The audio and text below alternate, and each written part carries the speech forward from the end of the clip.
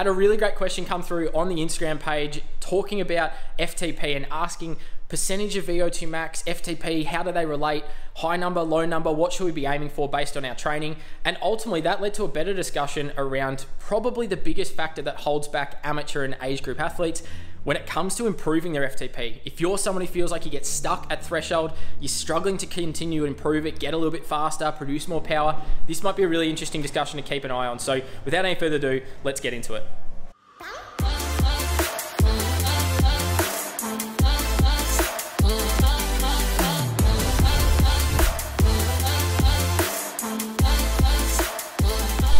Hey, welcome back to the channel. Nick here, making sports science simple. And it's been a long time coming since we've done a video like this, but for good reason. If you've been keeping up to date with the channel, in particular the performance vlog series, um, you'll know that that's now the rehab series, as you can see. Still in the moon boot, uh, not great, stress fracture in my tibia. Um, going to be out for a little bit of while, training wise. So if you want to keep up to date with that side, hit the subscribe button down below. Uh, there's regular updates coming. I'm taking you right through the rehab process, plus then when we get back, all the training side of things as well. But that's also why I've been a bit slack with some of these. So in today's video, we're going to be covering off another sport science or scientific principle um, or component of endurance performance, really, and that's percentage of VO2 max and how it relates to FTP like I said in the intro, great question that came through. And ultimately, it's one of those things that we know a lot about FTP, or most people do. It's that functional threshold power or functional threshold pace, depending if you're cycling, running, etc. That theoretical 45 to an hour intensity for the most part. What can we sustain where we've got a pretty constant uh, I guess accumulation of blood lactate, but we're able to metabolize and, and, work through that pretty pretty comfortably. Generally, it's not going to start increasing until well past uh, our threshold. We go past this intensity, we start to fatigue a lot faster. We stay below it, we're able to sustain that intensity for a lot longer, and the lower and lower we go, obviously, the more applicable to the longer endurance events. So typically, for intensities at FTP, just a little refresher, we're looking at things like 10k running. Um, we're looking at something like a sprint distance triathlon hour time trial on the bike is the obvious one. But these are these are our ones where we're going to be bang on that FTP intensity or that functional threshold intensity.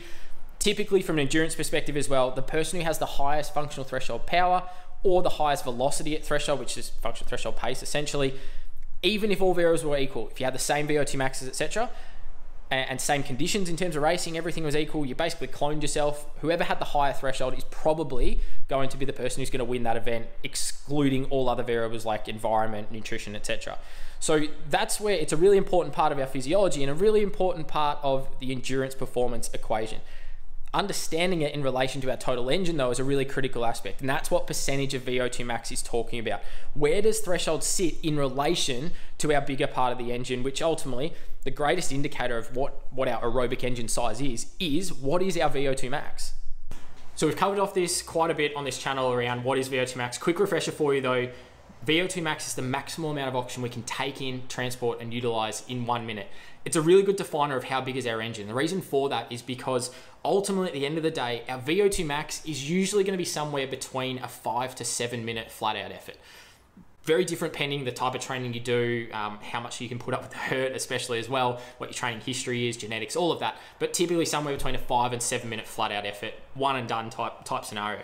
Our FTP is that theoretical 45 to an hour, as we said before. So our FTP, first and foremost, cannot exceed VO2 max. And this is where, from a lab testing perspective, I see a range of uh, percentage of VO2 max for all different types of athletes when it comes to where their FTP sits. I see things as low as sort of 70 odd percent of VO2 max, but right up to 90, 95. Now, if we look at a professional elite example to begin with, those guys, they're holding a very high percentage. They have a very, very big engine, very, very high VO2 max, producing a lot of power, running really, really fast, and they hold say 90 92% at the really really top end they hold a really high percentage of their VO2 max as where their threshold sits that's largely because they are pros, they're professionals. That's like, I mean, they've got the best genetics. There's a reason why they're racing at the top end. They have really big engines and they can hold a high proportion of it.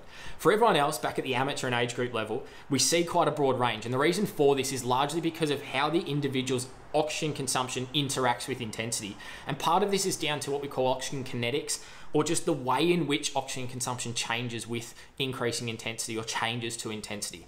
I'll give you an example a lot of the time I quite often see amateur endurance athletes come in and they have a pretty okay VO2 max. And what I might mean by that is let's say they have a relative VO2 max of 45, 50, maybe even 55 mils per kilo per minute. It's pretty good, they're pretty fit, much fitter than the general population, but nowhere near the 75, 80, 85 uh, VO2 max number you'll see from that pro professional. They're pretty handy. Amateur athletes like to race, recreational, whatever the case may be. So not bad. Some of those might have a really high percentage of VO2 max for where their threshold sits. So let's say uh, athlete A gets to 270 watts at VO2 max. The FTP is say 210. That's a pretty typical pattern for a lot of people I see who are in that sort of amateur recreational aspect. So hopefully these numbers sound somewhat familiar to you. If they're well below, well above, it's just an example. So FTP of 210, their, their VO2 max at 270. Now, this calculation in terms of percentage of VO2 max doesn't take place based on power. It takes place based on oxygen consumption. So for athlete A, who has these characteristics, that's where they get to in their testing. That's the identified numbers we've got from a power perspective. Their oxygen consumption may come up really, really slowly. So what that might mean is when we get to FTP, there may not actually be much of a change in oxygen consumption by the time we get to VO2 max. Even though there's 60 watts difference, the way in which they've trained previously, maybe they've done a lot of threshold work, maybe they've barely touched the top end in terms of VO2. So all of these individual characteristics, genetics, etc., might play into the fact that their oxygen consumption comes up really, really slow. So the difference between 210 and say 270 watts isn't much. What that leaves us with is 30 watts, uh, or sorry, 60 watts difference in terms of FTP power versus VO2 max power, but it might also mean our percentage of VO2 max for where FTP sits could be 85, 90% of VO2 max because of how their oxygen consumption is uh, interacting and, and the way in which it's coming up past that. Maybe part of that is going to be down to they just don't have a big enough engine. We need to train that VO2 max. We need to train the size of their engine. So one, we can use more oxygen, so it's allowing it to come up more, but but also it's giving us more room to be able to then start to move FTP. Largely, again, on the by, byproduct of increasing the ability to use oxygen, which is all those processes take in, transport, utilize. I could take athlete B though, coming back to my example, who's got a VO2 max of 270 watts, their FTP is at 210, and they could be at 75, 80% of VO2 max when they hit FTP. Reason for that? Maybe their oxygen consumption's a little bit more linear as intensity increases. Theirs just constantly just gradually gets up there. Started maybe a bit lower, gradually got up to FTP, and then continued to go. Part of that might be because they might have worked on that aerobic power a little bit more, but some of it could just be that that individual characteristic of how their oxygen consumption comes up. So this is one of the problems when we're looking at assessing it is really you have to actually measure the oxygen consumption component. And the only way you can do that to understand where does my FTP sit in relation to my engine is actually have a look at the lab data, assess and directly measure oxygen consumption to be able to then analyze where does that sit. Of course, you could do a ramp test at home and very, very similar sort of protocols. You can guess a little bit, but just taking, say, 210 divided by 300 multiplied by 100, that's a percentage based equation, isn't going to tell you percentage of VO2 max. It'll tell you percentage of power close to VO2 max, but it's not going to tell you that oxygen consumption characteristic, which you can see applies a lot of context to the situation. If I look at even an example of using the rooms in here, so I'm going to pull away from here. You can see the room I'm in at the moment, hopefully you can see it, has a reasonably okay height ceiling. That's like my example before of maybe 270 watts is where their VO2 max is at, maybe 55 relative, let's say. And if I stood on the on my desk without my moon boot, if I stood on my desk and I tried to jump, I'd be able to I'd be able to get most of the way up. But at some point, if I kept stacking the desk higher and higher and higher to try and increase my FTP, think about the, the gap between where I am and, and the top and how high I can jump being FTP I'm limited by the size of the room. And that's ultimately what VO2 Max is doing for a lot of these athletes without working on that top end. It's capping that ability to continue to develop FTP and how high we can start purely because there's no more room to move. Whereas if I take a different athlete who might have a little bit more room to move, someone who, again, VO2 Max of 270 watts, FTP, say 210, we might actually be able to squeeze a little bit more out of them if their room looks a little bit more like the one over there. Much higher ceiling. So if I stand on the same desk or the same table and I jump, I'm not going to hit my head as easily. So there will actually be more room.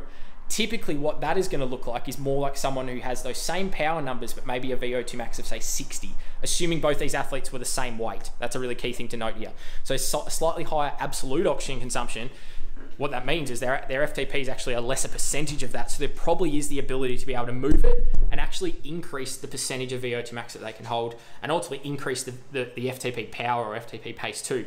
In this side of things, that athlete A example, not so much. So a really critical component for this one is we've got to lift that the height of the ceiling. We got to we got to move that upper end, which is going to come down to VO2 max type work. Other athlete who's got a lot of room to move already, we could go either way. Increasing the engine is not going to be damaging or harmful. continuing to improve VO2 max is still going to be a really effective method of training. And if we move their VO2 max from 270 to 300, I can guarantee their FTP is coming up 20, 30 watts anyway.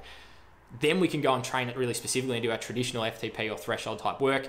That's going to lift it as a further percentage again. So that's probably the biggest limiter to a lot of age group and amateur uh, endurance athletes when it comes to not being able to continue to improve their FTP. It's because they might already be at a high percentage of their VO2 max or their, their FTP is already quite close. Like I said before, your FTP cannot exceed VO2 max. VO2 max being that five to seven minute um, flat out maximal intensity, realistically, your FTP being 45 to an hour there has to be a gap between those in terms of intensity. If we can lift that VO2 max that little bit more though, it allows us to move FTP as a percentage a little bit easier. So hopefully you got a bit out of this video. Like I said at the beginning, been a little while since I've done one of these. If you have any questions or topics you want me to cover on the channel over the next little while, please leave them in the comments down below or any other questions regarding FTP, its interaction with VO2 max. Happy to hear them and engage in discussion down below. Um, otherwise, continue support, like these videos, subscribe to the channel, share them on social media. Um, absolutely love the support for the channel and looking forward to creating some more videos throughout 2022. So glad to be back talking about sports science, not just harping on about the rehab performance side of things. Thanks again for watching this one. We'll leave it there and we'll see you in the next one.